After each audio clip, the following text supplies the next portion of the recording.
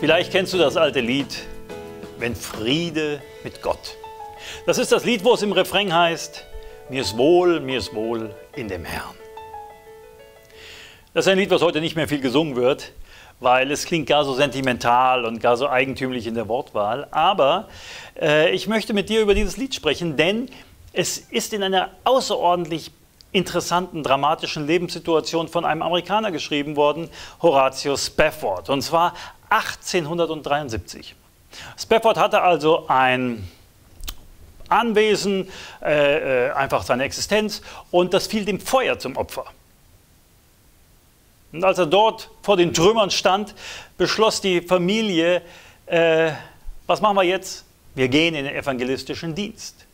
Das war zu der Zeit, wo Moody Evangelisationskampagnen hatte und sie beschlossen, sich im Team von Moody einzuklinken und mit ihm das Reich Gottes zu bauen. Moody war zu der Zeit in England, in Schottland unterwegs und sie äh, buchten Schiffsfahrkarten, um einfach nach England ähm, drüber zu fahren und äh, sich dem Team anzuschließen.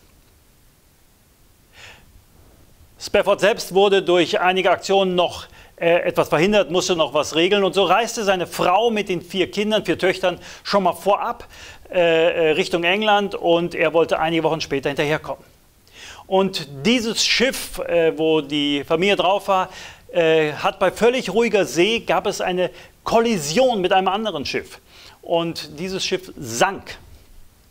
Die Mutter ist noch mit den vier Kindern aufs Deck, hat dort noch gebetet, hat das Leben dem Herrn noch anbefohlen. Und ja, dann sank das Schiff. Die Kinder sind ertrunken, die Mutter schwamm noch, gerade noch, als ein Matrose mit einem Schiffchen einfach sie entdeckt hat und äh, mit einigen wenigen Passagieren äh, ins Boot genommen hat. Über 220 Menschen kamen damals ums Leben bei diesem Schiffsunglück. Auch diese vier Mädchen. Dann ist ähm, sind sie mit dem anderen Schiff dann nach England gefahren. Und als sie dort ankamen, hat äh, Frau Spafford nur zwei Worte äh, telegrafiert an ihren Mann. Allein gerettet. Spafford hat sich dann recht schnell in ein Schiff äh, eingebucht, um äh, ebenfalls nach England zu kommen, um seiner Frau in dieser schweren Stunde einfach auch Beistand leisten zu können. War aufgewühlt natürlich, erschüttert und eines Abends äh, kommt der Kapitän zu ihm, ruft ihn in seine Kabine und sagt, wir ähm, überqueren jetzt gerade die Stelle, wo das Schiff untergegangen ist und ihre Töchter den Tod gefunden haben. Und in dieser Nacht war er so aufgewühlt, war er so in diesem äh, zwischen Zweifel und Glauben hin und her gerissen, so erschüttert, dass er sich hingesetzt hat und einfach aus seinem Herzen was geschrieben hat. Und genau dort, auf dem Atlantik, in dieser Nacht, entstand dieses Lied. Und da heißt es, wenn Friede mit Gott meine Seele durchdringt,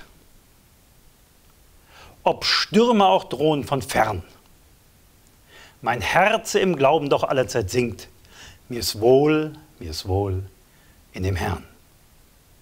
Wenn Satan mir nachstellt und Bange mir macht, so leuchtet dies Wort mir als Stern. Mein Jesus hat alles für mich schon vollbracht. Ich bin rein durch das Blut meines Herrn. Die Last meiner Sünde trug Jesus das Lamm und warf sie weit weg in die Fern.